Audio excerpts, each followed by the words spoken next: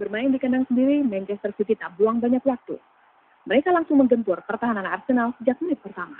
Namun, Kun Aguero dan kolega terhadang penampilan apik kiper David Ospina. Serangkaian serangan yang dilancarkan The Citizen membuat mereka lengah bertahan. Alhasil, meriam Arsenal yang hanya sesekali ditembakkan justru mampu meruntuhkan gawang Joe Hart.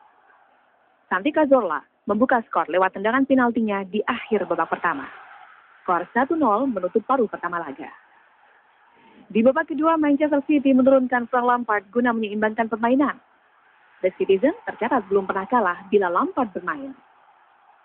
Namun, bukan Lampard yang bersinar, melainkan lagi-lagi Santi Cazorla yang berebut perhatian.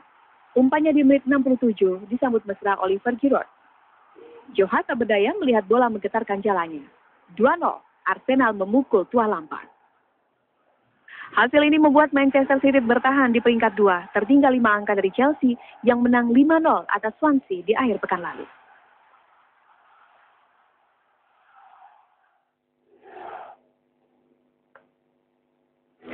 Bicara masalah dunia olahraga, baik itu sepak bola atau